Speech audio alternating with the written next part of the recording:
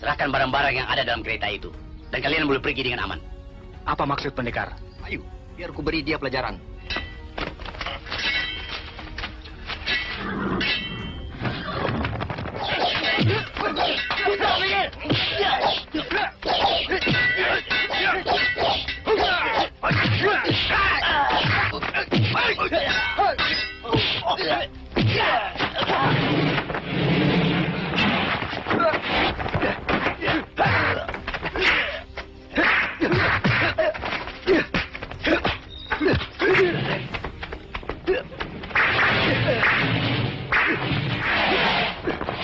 对对对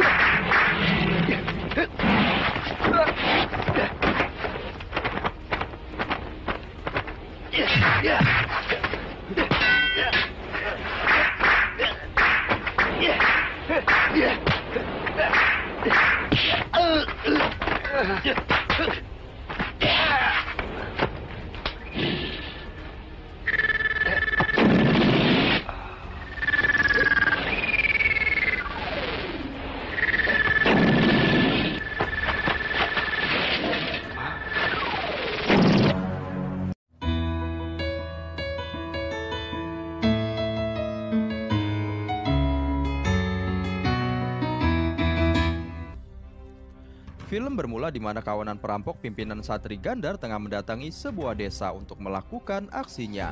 Di sisi lain ayahnya Jagat Kelana yang baru saja menjual kudanya, ia pun merasakan firasat yang tidak baik yang akan menimpa keluarganya yang mana karena seringnya terjadi perampokan yang dilakukan oleh gerombolan Satri Gandar. Uang penjualan kuda kita kemarin itu cepat-cepat diamankan. Kalau perlu ditanam di dalam tanah. Sebelum terjadi apa-apa atas diri kita. Terus terang Bu, beberapa hari ini perasaanku tidak enak. Jangan berpikiran yang tidak-tidak. Sudahlah, Pak. Dan benar saja para kawanan perampok ini pun mendatangi rumahnya karena mereka tahu bahwa ayahnya Jagat Kelana ini baru saja menjual kudanya.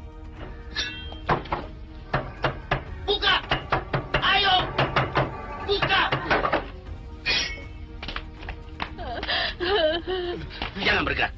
Aku tahu kau baru menjual kuda. Sekarang cepat tunjukkan. Di mana uangmu kau simpan? Diam. Kami tidak punya uang kan? Sebelum ku korok patah lehermu, cepat tunjukkan. Prawiro, lihat rumah ini. Kalau uang itu tidak kami dapatkan, kepalamu akan kupenggal. Jangan kan?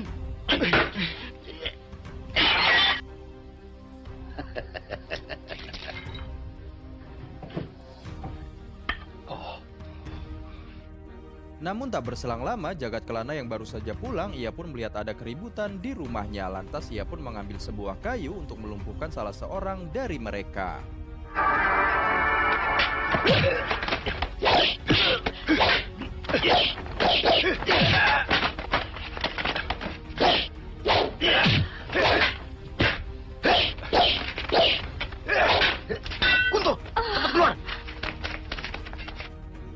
Tapi sayangnya Jagat Kelana yang belum banyak menguasai ilmu kanuragan, ia pun menjadi bulan-bulanan setelah dikeroyok oleh mereka. Sementara ayahnya yang mencoba membantu, ia pun harus tewas.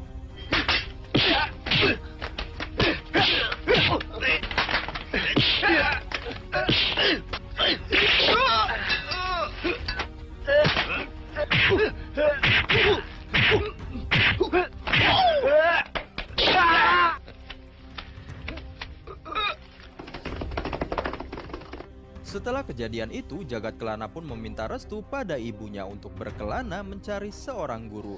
Namun bukan semata-mata cuma untuk menuntut balas, tapi ia juga ingin menghentikan kekejaman dari gerombolan Satri Gandar. Korban sudah terlalu banyak, Bu. Dan korban akan terus bertambah jika tindakan mereka tidak dicegah. Bila luka ini telah sembuh, saya akan pergi berkelana mencari seorang guru. Mereka harus dilawan. Bu, izinkanlah saya. Cuma pesan ibu, jaga dirimu, nak. Ya, Bu. Singkat cerita setelah Jagat pulih dari luka-lukanya, ia pun pergi berkelana. Namun saat ia memasuki sebuah hutan, tiba-tiba...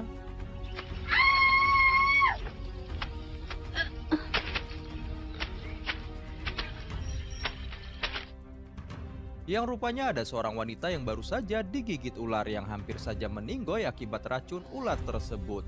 Tapi beruntungnya saat itu jagat kelana yang membawa obat mujarab tanpa menunggu lama wanita yang bernama Gantini ini pun tersadar.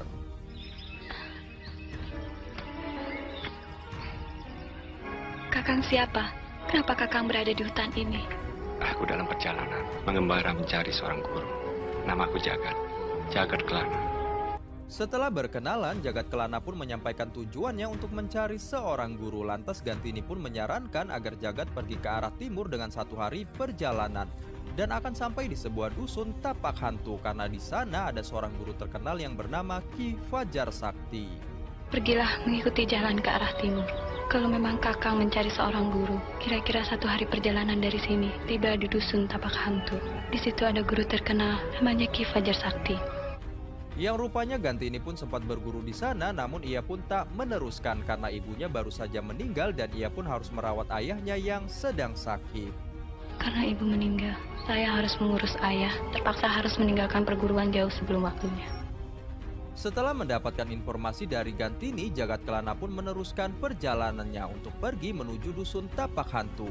Lantas setelah sampai di dusun tersebut dengan secara diam-diam dari balik semak-semak, ia pun melihat para murid-murid di sana yang sedang berlatih. Tapi tiba-tiba... Siap, siapa kamu? Maafkan saya. Yang rupanya Jagat pun dipergoki oleh salah seorang murid di sana. Lantas Jagat pun menyampaikan maksudnya, yang mana ia ingin menemui seorang guru padepokan tersebut yang bernama Ki Fajar Sakti. Dan setelah ia menyebutkan nama Gantini, Jagat Kelana pun akhirnya dibawa untuk menemui Ki Fajar Sakti. Saya mencari Ki Fajar Sakti Dari mana kau tahu nama itu? dari seorang perempuan namanya Gantini yang mengaku pernah menjadi muridnya Ki Fajar. Baik, sekarang kau ikut aku. Setelah Jagat Kelana dibawa menghadap kepada Ki Fajar Sakti, ia pun langsung berterus terang bahwa ia ingin menjadi muridnya. Lantas pada saat itu juga Jagat Kelana pun diterima menjadi murid di padepokan tersebut. Saya datang ingin menjadi murid yang guru. Siapa namamu? Jagat Kelana yang guru. Siapa pun dapat menjadi muridku jagat. Di sisi lain, para gerombolan perampok pimpinan Satri Gandar sedang menunggu seseorang yang merupakan mata-mata yang ternyata mereka ini berencana ingin melakukan perampokan kepada rombongan yang akan mengantarkan perhiasan pada penguasa di daerah tersebut. Kita harus tinggalkan tempat ini. Kalau sampai maghrib, Dulaga belum juga datang. Aku mendengar suara kakek kuda. Yang kemudian salah seorang mata-mata itu pun datang dan mengabarkan bahwa para rombongan yang membawa perhiasan itu akan melewati tempat tersebut pada esok hari. Dan ia juga mengatakan bahwa para rombongan itu akan dikawal oleh beberapa orang pendekar. Namun naasnya setelah mata-mata ini memberikan informasi justru ia malah dihabisi. Keberangkatan rombongan itu ditunda lusa pagi. Mereka juga akan dikawal oleh enam orang pendekar. Siapa yang akan memimpin rombongan itu? Bayu Cengkir. Ini, Terima kasih.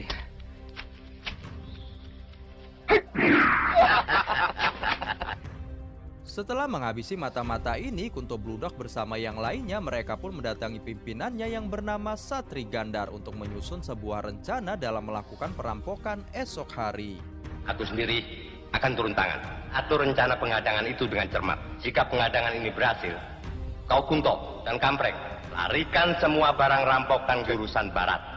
Aku, Subur, dan Prawiro akan lari ke arah timur untuk mengelabui mereka. Sementara itu di Padepokan, Jagat Kelana pun mulai melakukan latihan ilmu kanuragan yang dibimbing langsung oleh Ki Fajar Sakti.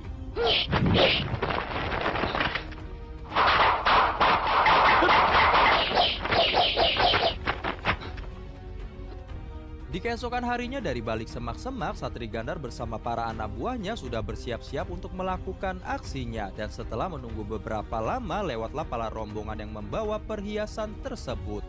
Yang rupanya mereka dikawal oleh beberapa orang pendekar yang diketuai oleh Bayu Cengkir. Lantas setelah bernegosiasi dan tidak ada kesepakatan, Satri Gandar pun hilang kesabaran. Dan yang terjadi... serahkan barang-barang yang ada dalam kereta itu.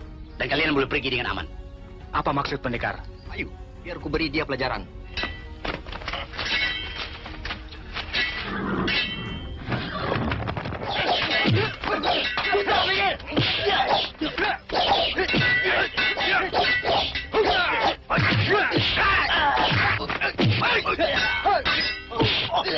Yeah!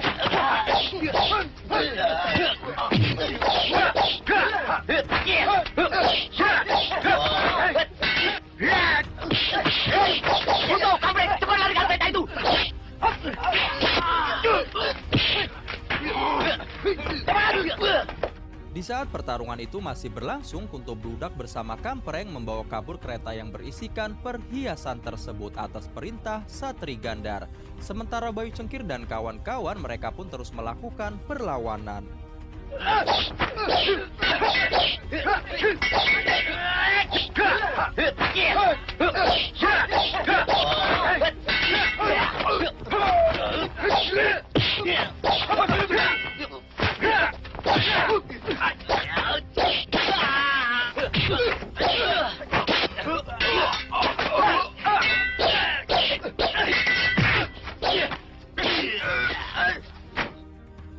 Sementara Kunto dan Kampreng yang tengah membawa kabur kereta harta karun tersebut, tiba-tiba saat di tengah perjalanan, Kunto Bludak pun memberikan obat penawar racun kepada si Kampreng yang terluka di tangannya yang sudah mulai membiru. Tapi ternyata itu adalah sebuah racun karena Kunto Bludak ingin menguasai sendiri harta karun tersebut. Kau tunggu sebentar di sini. Siapa tahu bala bantuan lawan datang. Aku akan pergi ke atas bukit sana. Kau tidak perlu khawatir tentang lukamu itu. Dasar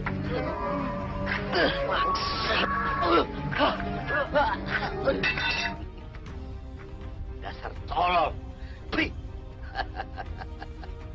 Setelah berhasil meracuni si Kampreng, Kunto Bludak pun membawa harta rampasan itu ke sebuah tempat.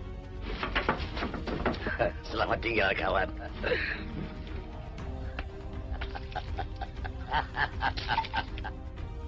Di sisi lain Satri Gandar dan yang lainnya setelah menghadapi para pendekar rupanya mereka pun kehilangan jejak Kunto Bludak dan si Kampreng.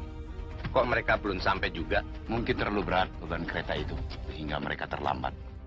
Tapi yang pada akhirnya mereka pun menemukan kereta yang diterjunkan Kunto Bludak ke dasar jurang. Sementara Satri Gandar ia pun mengetahui bahwa Kampreng telah tewas akibat sebuah racun.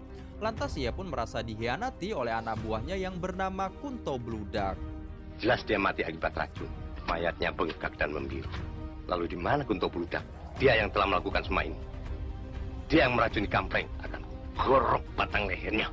Dia harus kita cari sampai dapat. Ayo.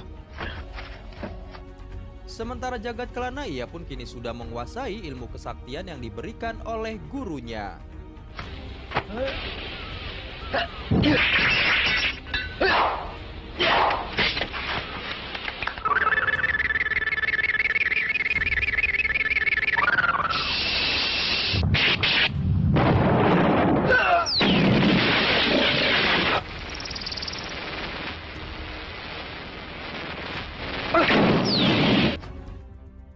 Di sisi lain, Kunto Bludak yang berhasil menyembunyikan harta itu, ia pun kini menyamar sebagai orang biasa. Sementara orang-orang kerajaan yang telah mendengar tentang perampokan itu, mereka pun terus mencarinya. Hingga akhirnya mereka pun menemukan orang-orang pembawa harta itu yang sudah dalam keadaan meninggoy.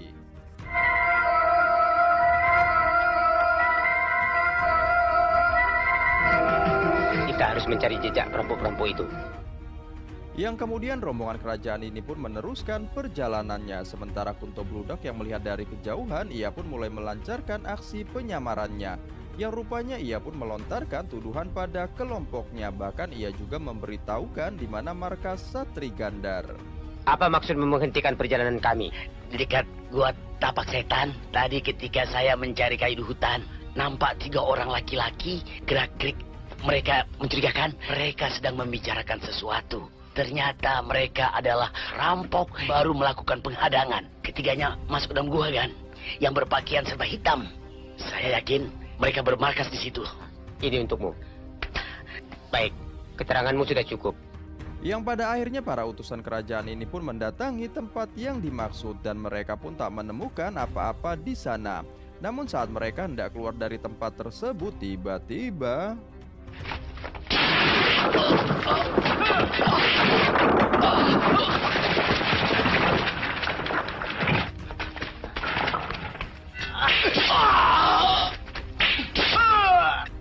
Yang rupanya para utusan kerajaan ini pun dengan mudahnya dihabisi oleh salah satu anak buah Satri Gandar yang bernama Prawiro.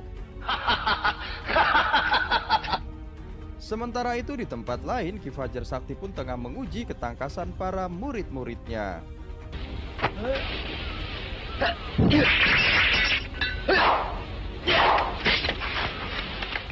Singkat cerita beberapa tahun kemudian Kunto Bludak yang melarikan harta rampasan dari teman-temannya itu Ia pun kini nampak hidup mewah Lantas untuk mengelabui masyarakat dan juga bekas kelompoknya Ia pun merubah penampilannya dan juga suka berbagi kepada masyarakat setempat Selamat, Gan. Ayo, Kang, cepetan. Juragan datang. Ayo. Yo. Saya, Gan. Ya, ayo. Juragan datang. Gan. Saya, Gan. Saya belum, Gan. Tenang. Saya belum, Gan. Setelah sekian lama melakukan pencariannya, jejak Kunto Bludak pun akhirnya tercium juga. Dari salah seorang suruhan yang dapat dipercaya. Aku telah menemukan jejaknya. Bagus. Ini ia telah kaya raya. Kalau begitu, hmm, kita harus melakukan penyergapan pada malam hari. Yang kemudian pada saat malam harinya di saat Kunto Bludak sedang enak-enak dengan gundiknya, para bekas kelompoknya ini pun mendatangi rumahnya. Diam.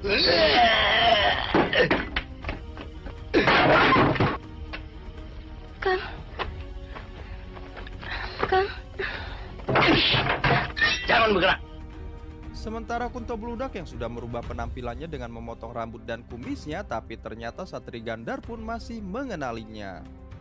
Kau adalah Kunto Bludak, pengkhianat. Namaku Binu Ireng. Aku bukan Kunto Bludak. Manusia parat.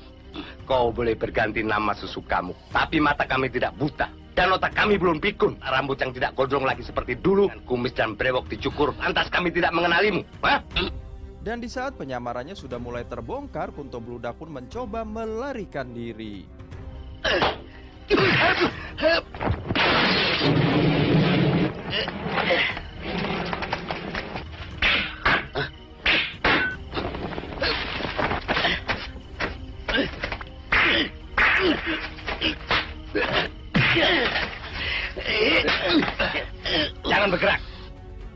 tetapi pelariannya kali ini tak berlangsung lama karena akhirnya ia pun berhasil ditangkap.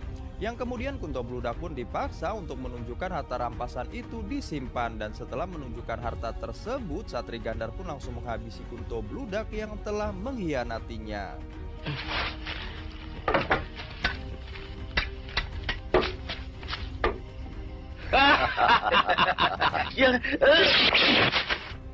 Di sisi lain setelah berguru sekian lama kepada Ki Fajar Sakti, akhirnya Jagat Kelana pun menguasai jurus Halilintar. Namun gurunya pun berpesan Jagat hanya boleh menggunakan jurus tersebut jika dalam keadaan terdesak saja.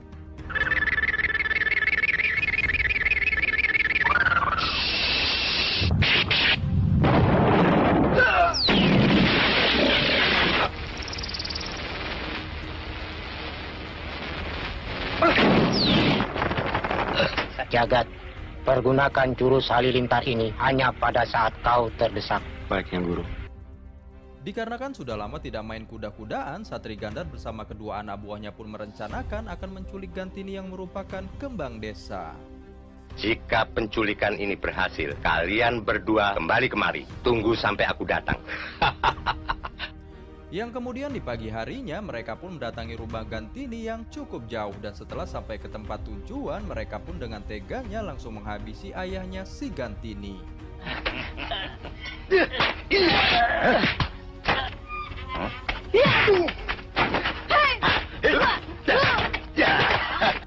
Gantini yang melihat ayahnya dihabisi, ia pun mencoba melawan tapi sayangnya itu hanya sia-sia saja.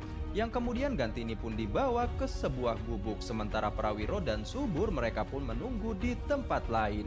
Sementara Gantini yang akan diperkaos oleh Satri Gandar beruntungnya ia pun berhasil melarikan diri. Tidak, aku tidak mau. Jangan. Jangan. Jangan. Sementara Gantini yang dalam pelariannya, ia pun menuju ke padepokan Ki Fajar Sakti dan setibanya di sana, ia pun menceritakan semuanya. Eyang Guru, Ayo masuk. Maaf, Eyang Guru. Apa sesungguhnya yang terjadi? Saya diculik. Saya mau digagahi. Ayah saya dibunuh. Mereka sangat kejam. Terkutuk. Dikarenakan kejahatan kelompok Satri Gandar yang sudah di luar batas, Ki Fajar Sakti pun akhirnya memerintahkan Jagat bersama Gantini untuk melawan mereka. Yang kemudian Gantini pun ditugaskan untuk memancing salah seorang dari mereka yang bernama Prawiro.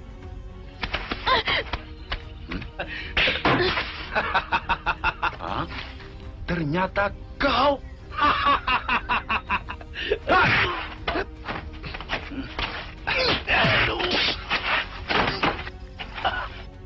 Setelah berhasil menghabisi Prawiro, kini Jagat pun siap bertarung habis-habisan melawan Satri Gandar yang memiliki ilmu tingkat tinggi.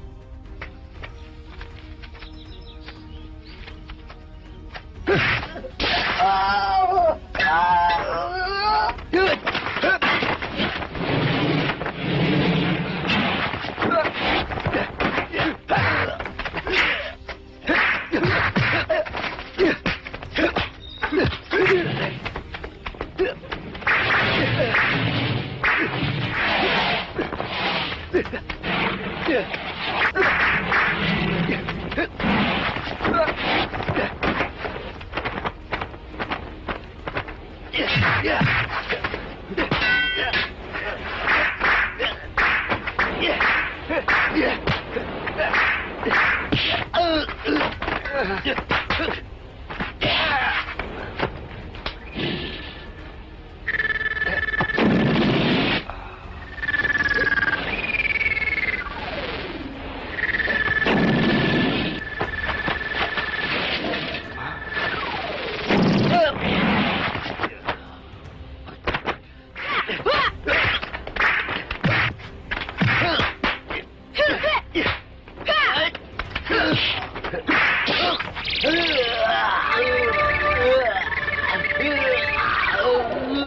Setelah melewati pertarungan yang cukup sengit, akhirnya Satri Gandar pun tewas mengenaskan dan kemudian film pun selesai. Oke lah teman-teman yang baik dan rajin menabung, sekian dulu video alur cerita hari ini. Terima kasih buat kalian yang sudah menonton dan sampai jumpa di video alur cerita berikutnya. Bye-bye.